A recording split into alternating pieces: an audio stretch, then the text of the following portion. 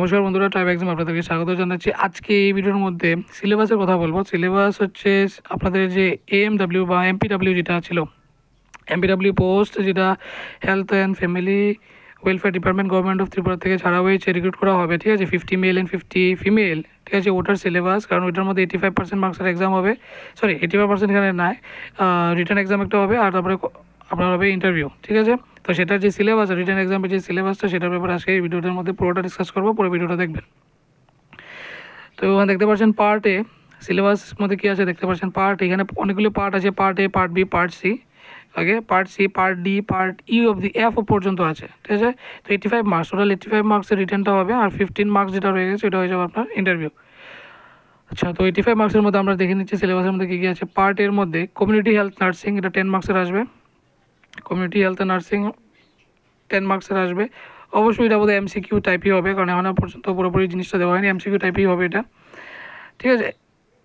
Concepts of health এইসব দেখতে পারেন। আমি জাস্ট উপরে গাইডলাইন হেডিংটা পড়ছি। কমিউনিটি হেলথ নার্সিংয়ের মধ্যে টেন মার্কস আসবে। তারপরে পার্ট বির মধ্যে হেলথ প্রমোশন আরও সাব হেডিংসগুলি আছে, আমরা দেখতে পারেন।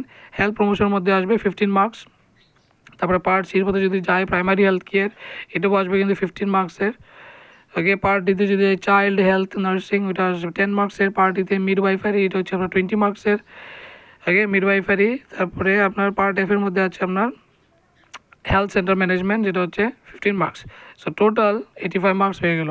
তো এই হচ্ছে আপনাদের syllabus eighty five marks written এক্সামের তারপরে তো ভাইবা তো আপনাদেরকে জিজ্ঞেস করা হবে, এটা আপনারা জানেনই তো এটার সিলেবাস কিছু নেই, এই সিলেবাস যে রিটার্নের মধ্যে যে সিলেবাসটা আছে, এই সিলেবাসের উপরেই আপনাদের ইন্টারভিউ ও কন্ডাক্ট করা হবে।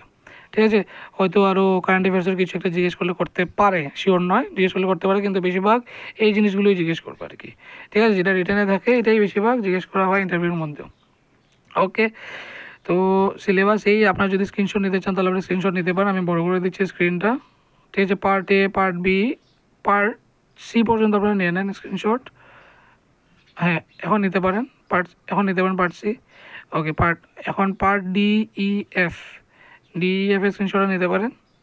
ওকে তো আশা করি সিলেবাস আপনারা পেয়ে গেছেন, আপনারা অ্যাপ্লিকেশনও করে নিয়েছেন বা কিছু কিছু যারা যারা ইচ্ছুক তারা অ্যাপ্লিকেশন করবেন। এখন অ্যাপ্লাই করার ডেট আছে অ্যাপ্লাই করার last date twenty eight September twenty eight September বিকেল পাঁচটা পর্যন্ত ফাইভ পিএম ঠিক আছে? তার আগে যাতে আপনাদের অ্যাপ্লিকেশন প্রসেসটা শেষ হয়ে যায়।